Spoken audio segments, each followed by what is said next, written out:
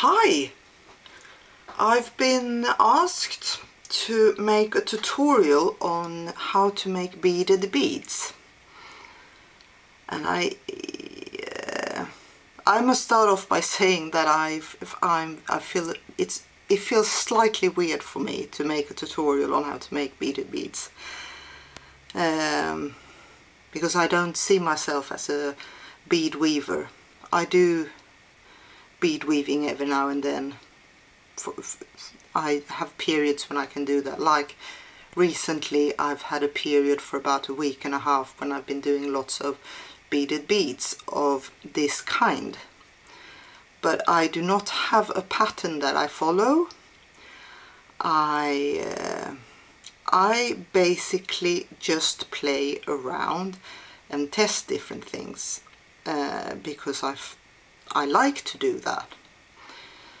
And um,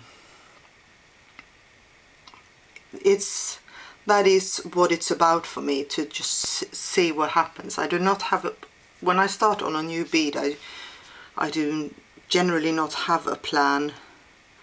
I just put some beads together. I, I start at some point and then I just sort of keep working and I see what happens and I, I might try different ways like combining different beads and different sizes or like increasing or decreasing in different ways or doubling beads or whatever along the way so that to see what happens.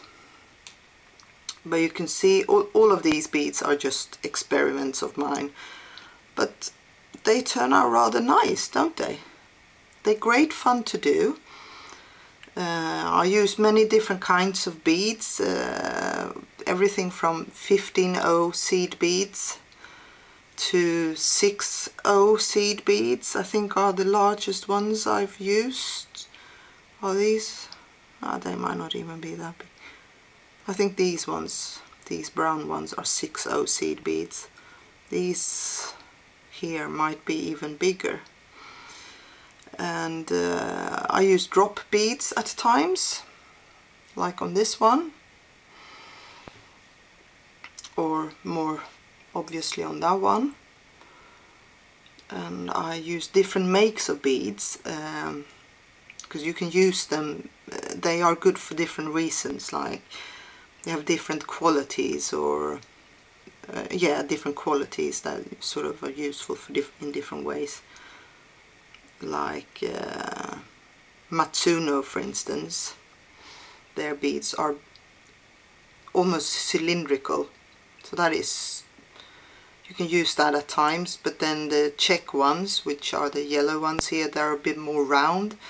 So they can be you can you can use the, the, the different qualities in different in different ways to to reach what you're after. Here these two and maybe that one too this row here is be unfinished uh, creations where, where I've just started doing something but these ones I've sort of emphasized the squareness by placing different beads in different positions so I sort of emphasized the corners here and I did that on that one too but it's a bit more subtle as you can see. Oh, I don't know if I'm holding it good.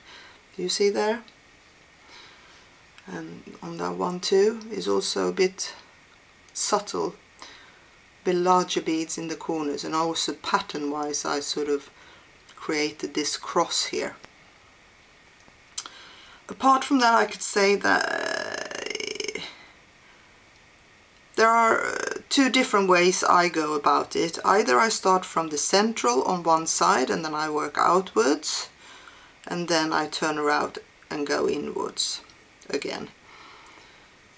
And uh, or I can start with the, the, the outer ring and then I work on both sides back and forth and just sort of gradually work my way in on both sides and that depends on what you want to do and uh, yeah just play around with that another principle I work from is like if you look at this here can see is three beads in the middle.